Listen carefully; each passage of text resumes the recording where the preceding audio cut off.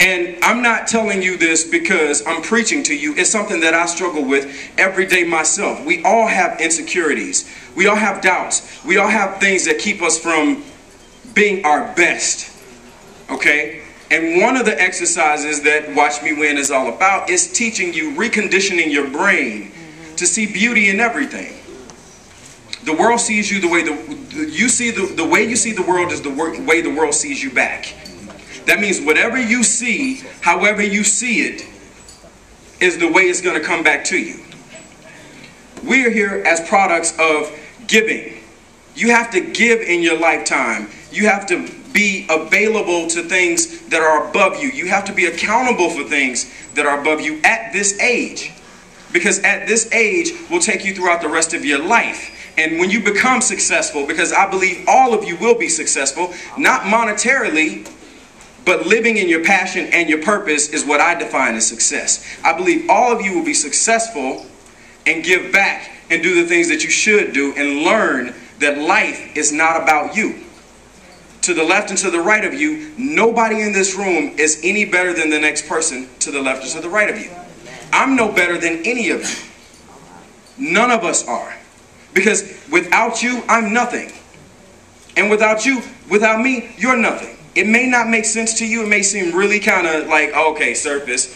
But when you go throughout life and you achieve those things that you want to, you'll really learn that one hand washes the other. You go throughout life like this, nothing comes to you. I know all of you have heard, you reap what you sow. Right. Yin, yang, you know, we can go on and on and on for the different titles for you reap what you sow. But the basis of reap, reaping what you sow is good and bad. If you sow good seed into this world and into your lives, you will harvest a good harvest. When I was younger, my grandfather used to always tell me as I left out the door, do right and right will follow you. That's the same thing as you reap what you sow. Right. So if you can find a way in your daily lives, I'm here to encourage you just to find a way in your daily lives, no matter where you are. If you're in the in the nicest area in Chicago, if you're in the ghetto, doesn't matter where you are. Challenge yourself every single day to wake up and see past your bricks. See your potential to where you want to be every single day. And mo most importantly, once you deal with your um, the physical sense of where you are in this world, look in the mirror.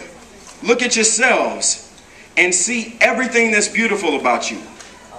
See everything that's beautiful about you because there's something beautiful about us all. Right. And whether you want to, whether you, oh, okay, sorry.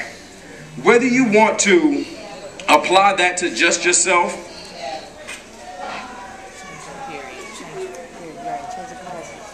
He's an actor, so the set must be quiet. No, yeah, I'm sorry. I'm sorry. No, like cut, cut? Because guys, honestly, I'm going to be honest with you. For me, this is the most important thing I'll ever do in my lifetime. And I'm honest with you. Speaking to you guys is the most impactful thing that I could ever do in my lifetime. And I know how attention spans are in today's society. So I want to make sure I have your undivided attention. But anyway, in closing, my whole purpose to be with you today and to share with you today is to empower and encourage each other to be the best that you can be. And to look at yourselves, find beauty in everything, every day. Go home, write some affirmations as Danny said he did when he was a kid. Because there's a phrase in the Bible that says once you write it down, you set it in stone, Thank you. I don't know the exact scripture, but I got the premise.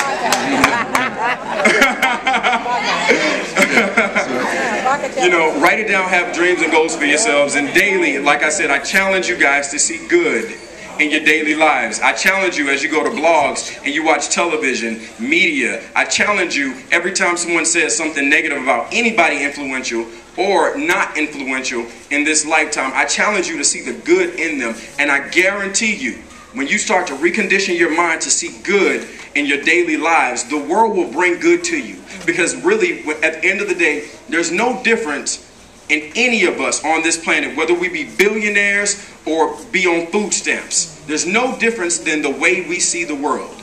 That's it. Everybody has a problem. Everybody has circumstance. Everybody has heartache. Everybody has cancers to deal with, AIDS, Every single thing in this planet, everybody knows or has to deal with.